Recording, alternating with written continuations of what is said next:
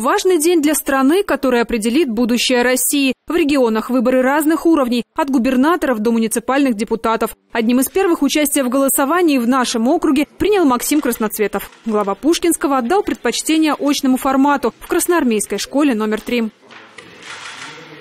Что, коллеги, как настроение? Все, начало положено, как должно быть. Нужно выразить свое э, мнение, выразить свою гражданскую позицию. А, тем более, э, я думаю, что та, та достаточно активная, насыщенная жизнь Подмосковья, она э, подразумевает тот факт, что нужно прийти и проголосовать. Выбор сделан легко и, самое главное, с хорошим настроением, с легким чувством, я бы так сказал. На территории Пушкинского более ста участковых избирательных комиссий. Восемь из них в Красноармейске. Жители идут сюда с самого утра.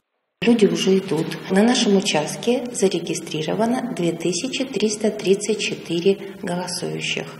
Из них 20 человек, которые будут голосовать первый раз. Им всего 18 лет.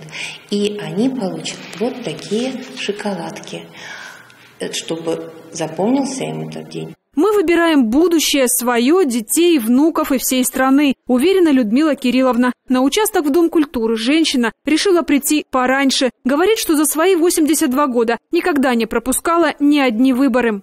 Прежде всего сюда, а уж потом дела дома. Это важно, обязательно. Я всегда на все выборы хожу. На участке в Красноармейской детской школе искусств для наблюдателей и для всех желающих организовали горячий чай и кофе.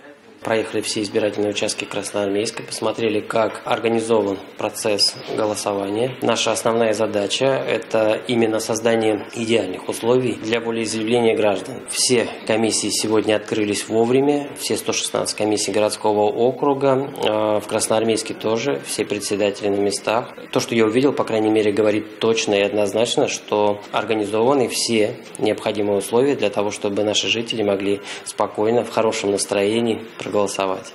Своя работа и у выездных избирательных комиссий. В данный момент пока двое. Э, после обеда еще. По мере необходимости, как поступают заявки, мы выдвигаемся по адресу. Какое настроение у людей, что говорят? Отлично. Доброжелательно. Избирательные участки в округе, как и в регионе и по всей стране, открылись с 8 утра и будут работать до 8 вечера. Электронные без перерыва на ночь до окончания голосования 10 сентября. За процессом следят наблюдатели, чтобы все было максимально открыто и прозрачно. Юлия Постриганева, Александр Корнеев, Анна Белова. Новости Большого округа.